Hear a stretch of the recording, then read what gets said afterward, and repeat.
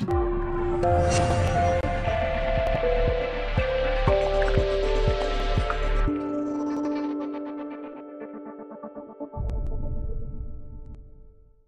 Hello there, this is the Bookkeeping Master on YouTube. Welcome to another video.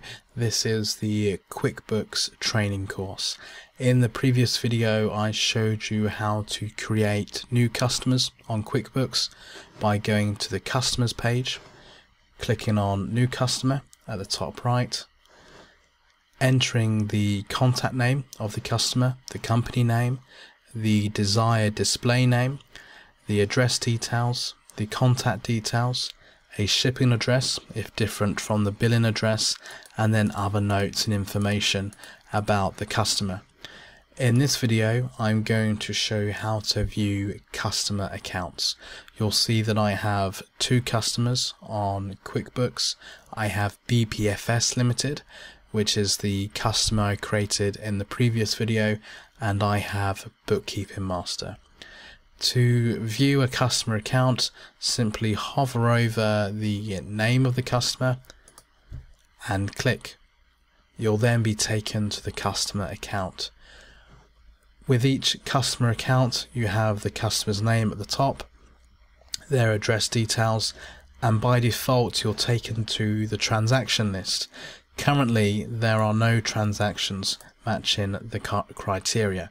That means we have no invoices or payments from this customer which would result in transactions appearing on this screen. As this tutorial goes on and I show you how to record payments and raise invoices, there will be transactions appearing on customer accounts. So there'll be more details on these customer accounts as these videos go on. There's also a customer's details tab next to the transaction list.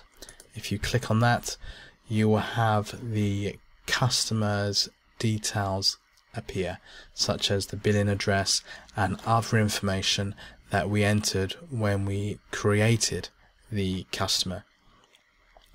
We can view other customer accounts by using the second sidebar. This is our main first sidebar.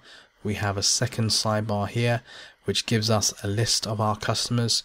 You can simply click on another customer, bookkeeping master, and view another customer account.